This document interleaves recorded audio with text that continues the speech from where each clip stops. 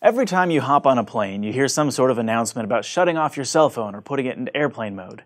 Maybe you listen if you haven't already conked out in your seat, or maybe you ignore the rule and keep texting hoping the flight attendant won't notice. I mean, what's the risk? Will your extra game of words with friends really bring down the plane? Well, it could, at least in theory. The concern is that portable electronic devices like your phone or tablet could cause electromagnetic interference that would disrupt the communication or navigational systems in the plane. One type of interference, known as front door interference, is when radio waves leak out windows or other cracks in the metal frame and are detected by the antennas on the outside of the plane. Those antennas are used to communicate with air traffic controllers or with GPS satellites, so it could make it more difficult to send and receive those important messages. There's also backdoor interference, where radio waves interfere with the signals running through the cables inside the plane plane, which could scramble onboard electronic systems. But since the 1980s, electrical systems on aircraft have been able to withstand lightning and other sources of electromagnetic disturbance, which probably shields them from the tiny amount of interference from a phone or tablet. And no phone, tablet, or any gadget you might try to use during a flight has ever actually been proven to cause serious problems. Individual pilots have claimed that some of their instruments went haywire when passengers turned on certain devices,